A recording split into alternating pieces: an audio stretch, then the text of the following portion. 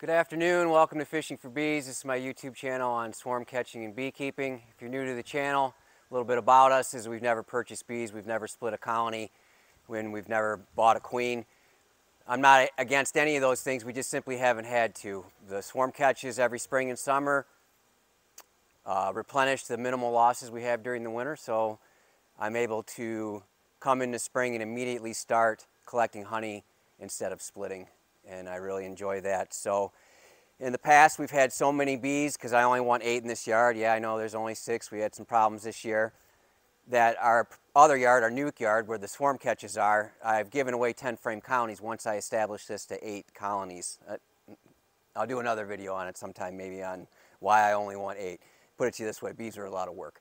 Um, so anyways, we're just going to do a quick video today on robbing and um, mouse guards uh, such as these are kind of a little bit open in what you can do. So you need to be planning for robbing season even though it's not going on. This is robbing season. This is October 22nd, it's 70 degrees and it's beautiful out. There's nothing for them to forage on.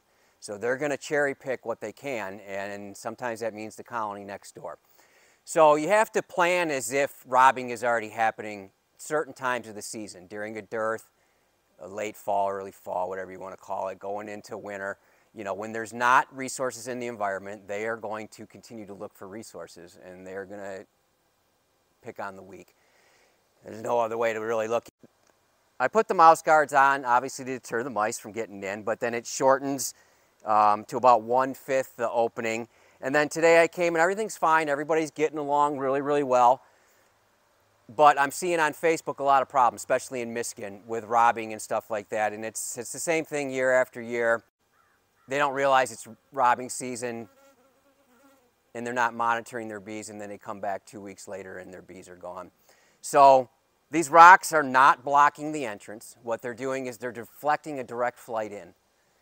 The bees that live there will get used to it. The bees that don't live there don't understand it. So they'll not know exactly where the entrance is and they won't have a direct flight in. That elimination of the direct flight in during robbing season is crucial in my opinion. I don't purchase robbing guards or, you know, any of that kind of stuff. There's a lot of stuff you can do for yourself. If this was really, really bad and one of these were getting robbed, I would stack multiple rocks. I would stack multiple sticks. Two lanes of traffic if they're getting robbed, right? One bee going in, one bee going out. Severe cases, one lane of traffic is all you need. That's all you need. You just need to let bees in and out and you need to make that area small enough that they can defend it. If they can't defend it, they're going to get picked on. Then the other colonies are going to realize that this is easy pickings and there's going to be even more attacks and eventually the bees are going to abscond. That's why people are coming to the colonies and their bees are gone. And the colony's robbed out, obviously, and bone dry. So the bees will leave before it's bone dry. But once they leave and there's no one left to defend, then it's a free-for-all. And they're just going to pick it dry and you're going to end up with a, with a dead colony. So a lot of these are really strong, but I still put a rock in front of them. And there's other things, as I said, you can do with sticks and twigs and you can get creative. I've seen some awesome things where people bend a mesh screen um, and it's half cylinder and then, you know, put it to the front of the colony where they have to go down.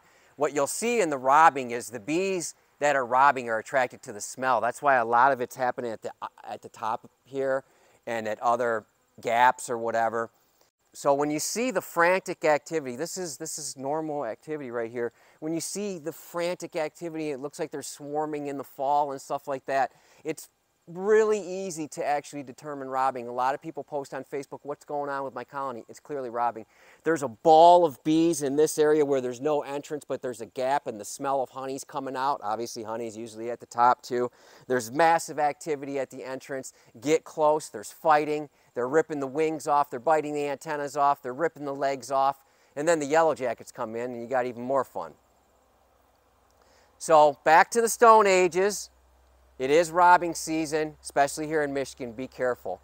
Quick short video. Thanks for coming along. I hope your bees are well.